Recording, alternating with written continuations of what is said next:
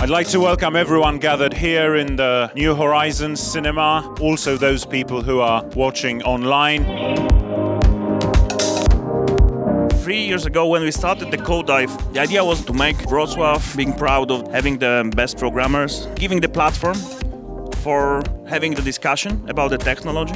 Over these three years, uh, Code Dive has grown to be perhaps the most prestigious conference of this sort in this part of the world.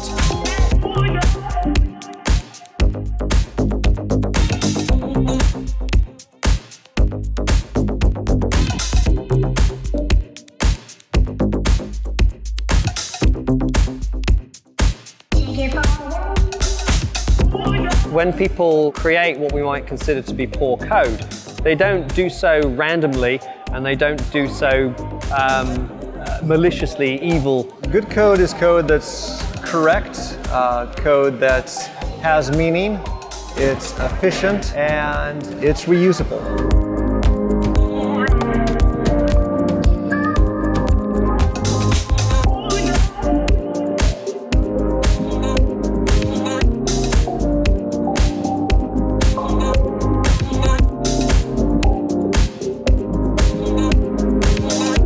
Fact that Nokia has been able to invite 1,500 people and tickets were gone within hours, I think it speaks for itself. Big auditoriums with just an amazing number of people in them. All of them seem really engaged and really interested in the content. I love seeing this many people all come together for a technical conference like this. This is on par with almost the CPPCon level. There's almost as many people as one of the first, first CPPCon that I've been to.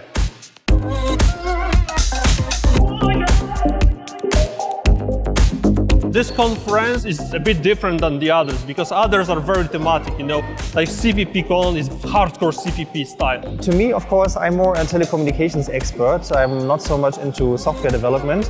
So I've been into some sessions, it's a bit rocket science to me. And here you get different things. If you have very wide horizon of your interest, you will always find something for you. I also think it's very good that it's uh, free because I think it can be a barrier to entry for a lot of younger nerds. The organization by the volunteers, by Nokia, you guys done a tremendous job. It is driven by a quite small number of people who are uh, willing to do a great conference.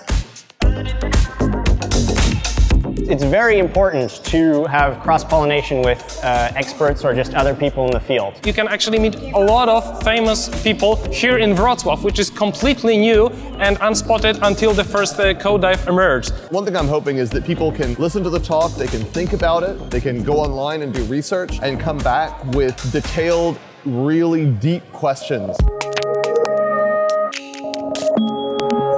Know, I remember Wrocław from the 1980s. Now, when I see all those people, those IT experts, that they can relate to the talks, they can ask relevant questions, it is inspiring, if not elating. I've been really enjoying uh, exploring the city. I've never been to Poland before, so I, have had a great time kind of trying the food and, and talking with people. Would I like to do what? Um, what, sorry? Would, would I like to pronounce? Yeah. Um, all right. It's Wrocław. Wrocław? Wrocław. Wrocław. Wrocław. Wrocław is not very well known internationally, but it's a fantastic IT hub. People say it's the Silicon Valley of Poland.